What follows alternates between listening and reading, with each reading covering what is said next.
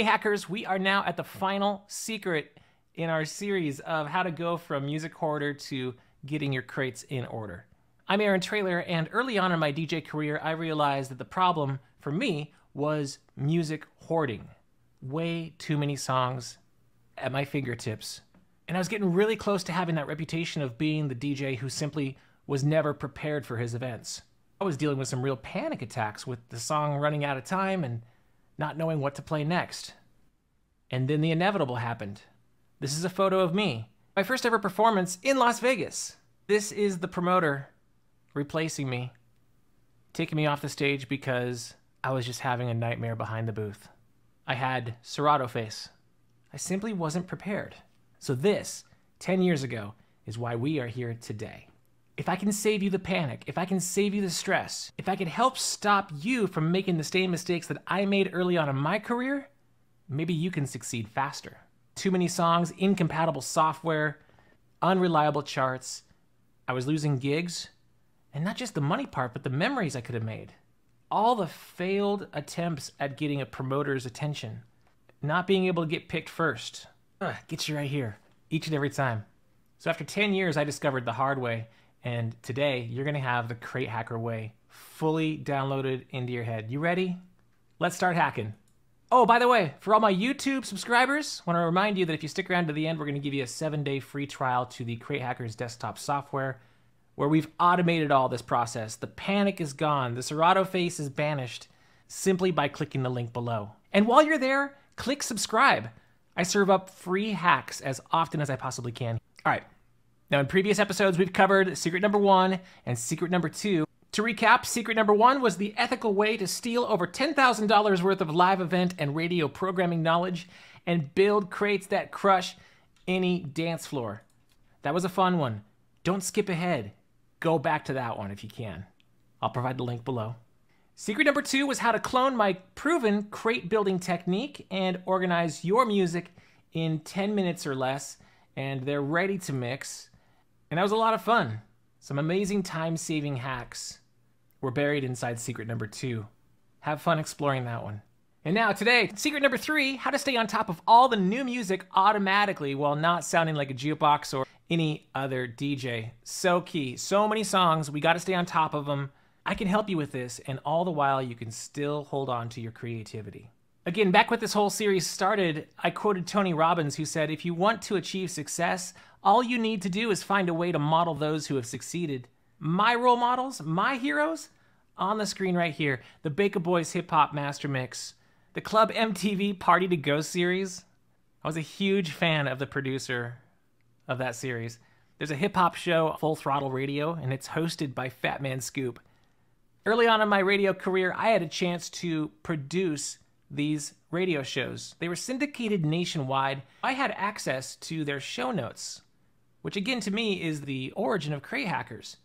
The list, being able to know what's ahead just a little further out. In this particular show note, that's a full hour that would fill content on a radio station. Think about maybe filling not necessarily an hour, but four, five, ten songs ahead. Now, again, it takes a DJ to read the crowd for the right timing and transitions.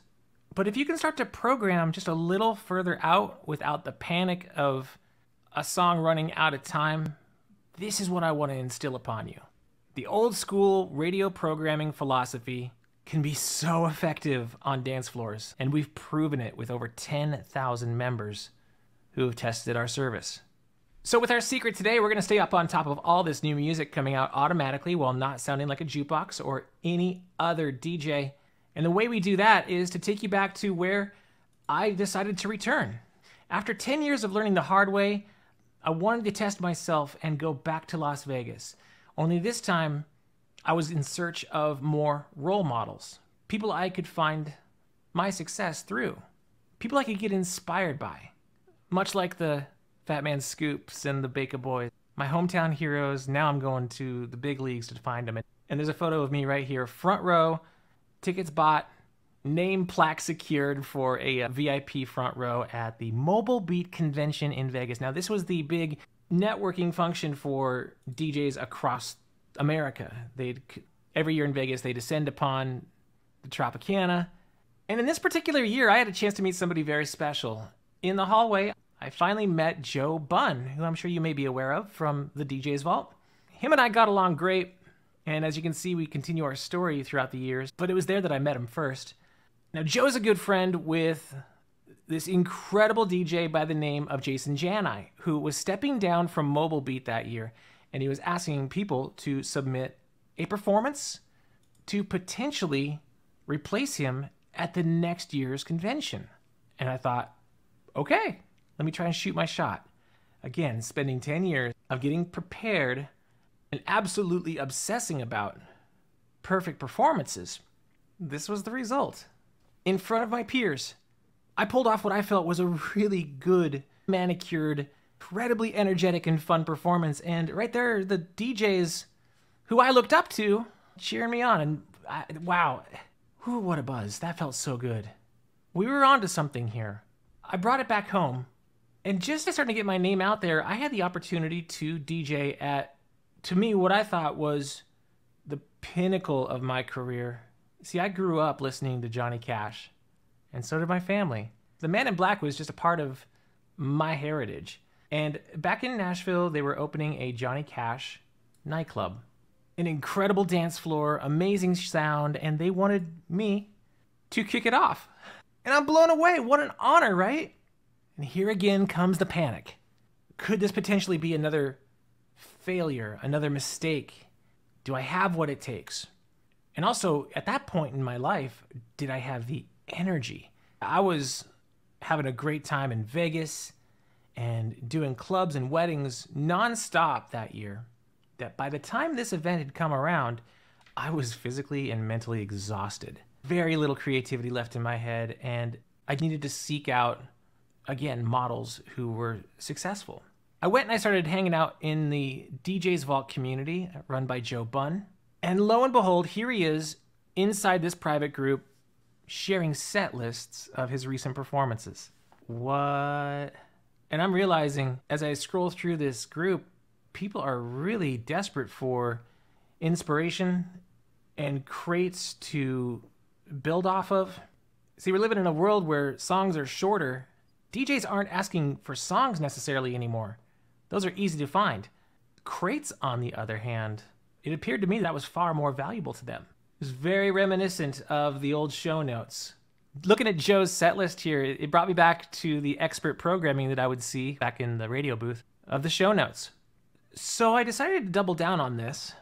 And before I did that, I said, I don't want anybody plagiarizing or copying transition for transition. What I decided to do was a filter process. Any song that would enter into the Crate Hackers library would have to be at a threshold of 60% or higher in both popularity and danceability, and 40% or higher in mood or energy. This right here is what separates us between the sound of a normal playlist on, say, Spotify. 60 40 threshold is where we offer up consistently the most accurate songs for a dance floor and a DJ library. And we figured that you could fill in the rest with 40% creativity, finding those hidden gems that maybe we didn't share or discover. Before I set you loose inside the software, realize that every crate you open has to follow this or nothing at all. It's very helpful with knowing just at a glance what songs smash in a particular genre. Finally, good charts for great DJs. I can attest to it, and many others can as well. It's working on dance floors. We are creating not just a movement in terms of programming ahead of time, but also being able to, dare I say, manipulate energy. We're getting into the molecular level of finding if a song is danceable or energetic or even mood related. So if you want to have a, a little bit more control of your dance floor, start playing with their emotions. It's one extra tool that we can help you unlock. As we continue to grow out Crate Hackers, we listened what exactly does the DJ community need out there? Some things used to take hours. How can we shorten that up so you can have time to focus on your dance floor or your life in general? Here's photos of us continuing to hack year after year. Thanks once again to Joe Bunn, and he uses Crate Hackers in an entirely different way. I use it to go remix hunting personally. I love remixes. I'll explain how that works in a minute, but Joe uses this to prepare for his upcoming events. Let's take a moment and let him show you how Crate Hackers works for him. I know you guys have been beat over the head with Crate Hackers ads over the past year and a half, but it's evolved so much that I really wanted to give you an insight look on how I personally use it. What I really use it for is a time saver when I'm prepping for my events. So let's get into it. As you can see, I am already on DJ Event Planner. I'm on an old wedding I did on October 1st. I'm gonna go to their music, and then I'm gonna go to edit music. They only pick nine songs for this. Next, I'm going to just highlight these songs like this, and I'm just gonna copy. Next thing I'm gonna do is go over to Google Sheets, a new spreadsheet, edit, paste, and match style. Then all I really want is the song, title, and the artist. Again, I'm gonna do a copy there. Open up my Crate Hackers app. I'll go to text import is what we call this. I go to paste data, generate crate. Check this out, guys. This is literally now telling me my files have been scanned that are on this computer. It is now pairing up her playlist with the files that live on this computer. So ain't no mountain high enough. Got it. In fact, I've got a redrum and the original. I'm gonna pick the original. Beyonce, Crazy in Love, already own it. Done. Garth Brooks, Friends in Low Places, got it. Sweet Caroline, got it. I want Scooter's version, so I'll check that one. So I've got all the songs already. I already had them. Now, if I didn't, I could have gone to any of the record pools I'm a member of. I just hit the drop down and searched the record pools. I could have gone to the streaming sites and found it. I could have purchased it from any of these sites, but I had all these songs, right? So now I go up here to the top right, export to Serato Crate. Your crate has been created. You need to restart Serato to see your new crate. Okay, let's close that out. Let's start up Serato and look for our treat. Now, again, imagine that this had been 50 songs, 60 songs, how much time it would have saved me. There was only nine here. Sure, I could have dragged together a crate real quick. What do we have at the very top there? Lauren's Wedding. Boom. There's all the songs. Nailed. Let's see, make sure they got all nine. One, two, three, four, five, six, seven, eight, nine. Done. So that is one of the ways that I save so much time if they did their planning through the portal on DJ Event Planner. Now, what I've really been asking for lately, because Spotify is so huge with probably billions of users now, is I would almost prefer now a Spotify link. Why? Because that also works with Crate Hackers as well. Let's check it out that way. So now I'm gonna go to the wedding I did just last weekend, and I'm gonna go to planning, and let's go to their Bunn DJ Company event planner and just hit print selected, and we can scroll down. Because I distinctly remember they put, there's one Christmas music playlist that they had at the cocktail hour and then somewhere else in the notes, right, is their dance list. So all I'm gonna do is highlight that Spotify link. I'm gonna copy it. I'm gonna go back to my Crate Hackers app, back to the apps tab on the side. I'm gonna go to the Spotify import function. I'm gonna hit that link, paste it in, hit go, and what do you know? Let's just find one that I was missing. So Cardi B money. So I'll go to the pools thing down here. It looks like heavy hits because it's got the parentheses. Crate Gang and Late Night Record Pool have the most versions of that probably. So let's try heavy hits. They get about a million version it looks like. I'm just gonna click one of the ones that's not a remix. I want the clean version, but I'm gonna go ahead and export this to the Serato crate. Your crate's been created. Again, I click OK. Now I'm gonna open Serato and we're gonna see Timothy and Sarah's wedding. You see what my point is. Crate Hackers is the bomb. It is open now, cratehackers.com. Get in there. I promise you, it is such a time saver. You're gonna love it if you're a professional working DJ. And uh, I'm not just saying that because I'm a part of it. I really do use it all the time. Thanks. All right, back at it once again. Our promise to you is to serve up charts, not just charts, not Billboard, not Shazam, charts for DJs. We'll curate those daily, weekly, and monthly. Oh, this is a big one right here. For all of you wedding DJs, the DJ Event Planner Top 200, I would always have to refresh that at the top of the year when they brought out the new charts. We can get those charts into your software like that. Joe Bunn, you saw him earlier? He's serving up his very own crates injecting them into your software of choice. Jason Jani, the mastermind that I was auditioning for in Las Vegas, he too is a believer of crate hackers, and he's offering up his crates. And look at this my idols, the ones who I modeled success from the Baker Boys, HK from the Club MTV Party to Go days, my old and new heroes, they're all here. Oh, and we forgot one other. Yo, what's up, y'all? This is Fat Man Scoop. Give me five seconds, and I'm gonna show you how to be a better DJ. I travel to clubs around the world every single week, 49 weeks a year. Now, because I run around the world, I usually wind up doing the same set. At a certain point, I refresh my set, but because I'm running around so much traveling, moving, and all that, I can't do it every week. And here's where Crate Hackers comes in. It gives me the opportunity to look at other records that are in a crate, BPM tested, so I know they work. Now, with that information, I can do one or two. Number one, I can go look at any crate that's curated by one of the expert DJs from the Crate Hackers crew, and I can say, okay, I can play this set the way it is. Boom, that works. I'm done. Or I do what I usually do. I take some of those songs and I integrate them into my existing set. The good thing about this is as I look at other people's crates, it gives me a chance to look at things from a different angle and pick records that I probably wasn't even thinking about. Again, with Crate Hackers, you can do one or two things. Number one, play the set that was curated for you straight out. Number two, take parts of that set as ideas and add them to the set you already have. It's a help from a creative standpoint as well as a huge time saver. Not only that, Crate Hackers will scan your library and organize your music in seconds and export that crate right into Serato, Rekordbox, Virtual DJ, or whatever you're using. Why not do it? It's a no-brainer. Plus, you'll get a chance to get your hands on my own personally curated crates every month. Fat Man Scoop, Crate Hackers. Let's go! Couldn't be more excited. Fat Man Scoop is now with the Crate Hackers. See what I mean? If you want to achieve success, all you have to do is model those who have already succeeded. And before we get out of here, I just want to firmly press on the fact that we are not allowing any robots. No robots allowed. We have over 50 places to find different unique versions of that song, so every crate will sound unique and different and catered to you.